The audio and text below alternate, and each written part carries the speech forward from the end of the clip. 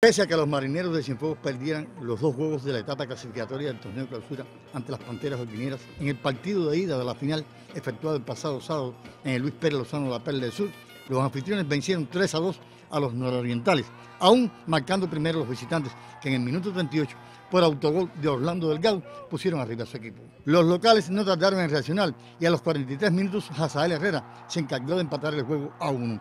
Y a los 43 minutos más uno, su compañero de equipo, Daniel Fuente, puso arriba a los sureños 2 a 1. En el minuto 71 del tiempo complementario, el delantero del dinero Cristian Valiente empató las acciones a dos.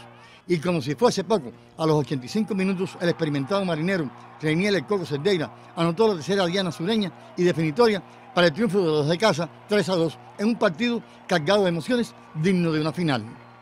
Eh, empezamos perdiendo, no, remontamos porque se nos fueron arriba y remontamos, el equipo no, no, no baja los brazos y sigue luchando, sigue luchando, dijimos que aquí teníamos que salir con una victoria, pues porque entonces el otro juego ya en su, en su terreno pero no, vamos a prepararnos y vamos a seguir, tratar de mantenernos en la, cima para ver si le damos el campeonato a Cienfuegos.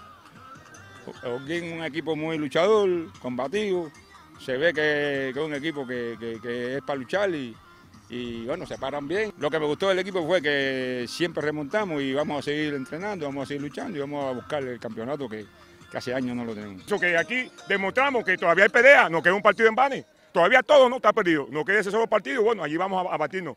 Eh, felicitaciones para, para Cienfuegos que supo eh, mostrarse bien aquí en su, en su terreno y bueno, se llevaron eh, la primera victoria. El próximo fin de semana en Banes, Holguín, se efectuará el partido de vuelta, donde se definirá el campeón del torneo de clausura del fútbol cubano. Deportiva, Primitivo González, Notisur.